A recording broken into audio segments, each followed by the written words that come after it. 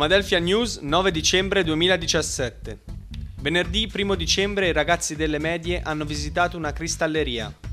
Sabato 2 è stato presentato in sala Don Zeno Turoldo Vivo. Il maestro Alberto Villa a Nomadelphia.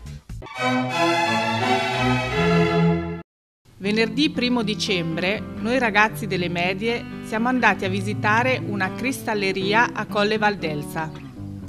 Colle Vilca è un'azienda nata dalla fusione di due storiche cristallerie italiane e vanta oltre 40 anni di esperienza nel campo dell'arte, della tradizione artigiana e della lavorazione del cristallo al piombo oltre il 24%. Il vetro è il risultato finale di un insieme di elementi che con precisione vengono dosati, fusi e lavorati. Si fa come un dolce, dove gli elementi fondamentali sono la sabbia per i tre quarti, il carbonato di sodio e di potassio e per fare il cristallo l'aggiunta del 24% di ossido di piombo, che fa sì che la lavorazione che si crea forma un cristallo naturale e aumenta tantissimo l'indice di rifrazione e la stabilità, cioè dura di più nel tempo perché diventa meno solubile. Queste sostanze vengono messe dal fonditore nella padella, un catino di terracotta ad una temperatura di 1600 gradi per tutta la notte. Al mattino molto presto, tre squadre di artigiani lavorano con destrezza e abilità al cristallo, dandogli forme uniche e meravigliose. Abbiamo visto la lavorazione in stampi di bottiglie per whisky e la lavorazione artigianale di piccoli oggetti fatta da un maestro vetraio che, con sapienti interventi, ha trasformato una massa in forma incandescente in autentici oggetti d'arte. Il processo di raffreddamento poi deve essere molto lento attraverso un nastro trasportatore in un forno che tempera e raffredda e dal quale l'oggetto quando fuoriesce viene controllato e alle volte ha bisogno di ulteriori passaggi per essere rifinito.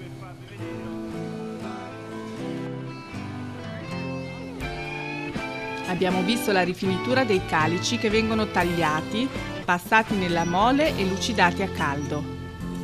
Gli oggetti infine vengono portati a Empoli per essere lucidati con acidi e riportati in azienda per il confezionamento e la vendita.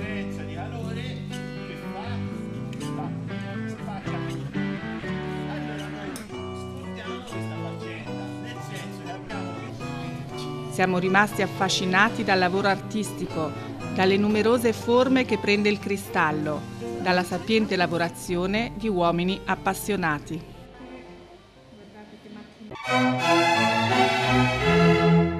Sabato 2 dicembre l'associazione culturale Le Colone ha presentato Turoldo Vivo. Ci sono attori, proiezioni video, musicisti, un coro e voci soliste ma non è uno spettacolo, non è un concerto, è un'opera multimediale. Turoldo Vivo vuole essere una nuova forma espressiva che nel contesto del progetto abbiamo denominato liturgia della riflessione. Il progetto Turoldo Vivo intende smuovere le coscienze attraverso le parole e le immagini regalateci da questo incredibile uomo in questo contesto la poesia di Turoldo assume il ruolo di vettore lungo il quale si muovono codici e messaggi espressivi multisfaccettati, così da rendere il lascito socioculturale di padre David un eterno presente, mutevole e profondo, impedendo che i limiti spazio-temporali della sua vita mortale trasformino il centenario della nascita in una celebrazione del personaggio. Noi Nomadelfia ha sempre avuto una parte speciale, per noi Nomadelfia è stato un'immagine, un, un una suggestione, ma è adesso una, una promessa e un motivo di speranza. In Nomadelfia crediamo, lo abbiamo fatto all'inizio attraverso le parole e la testimonianza di Padre David, oggi ancora di più perché siamo presenti e abbiamo constatato che cos'è, veramente un'occasione un di vita vera, direi, autentica.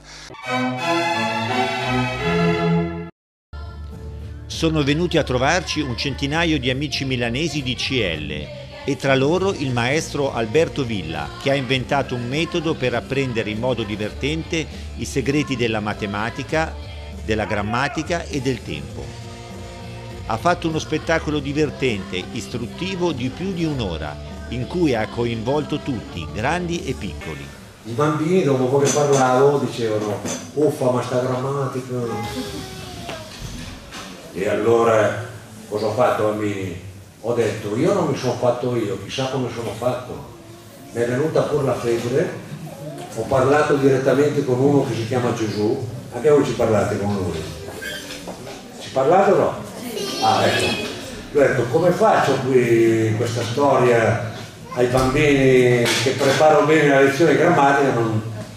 E allora cosa è successo? Che mentre avevo 40 di febbre, per cui la febbre serve, ero a letto così, a un certo punto ho preso in mano un piccolo registratore e ho detto ma io la grammatica gliela canterei. E mi sono messo a fare una canzone. Ma non l'avevo mai fatta eh. Bene dopo otto giorni ho fatto otto canzoni sono rientrato in classe ho detto bambini! E tutti che la cantavano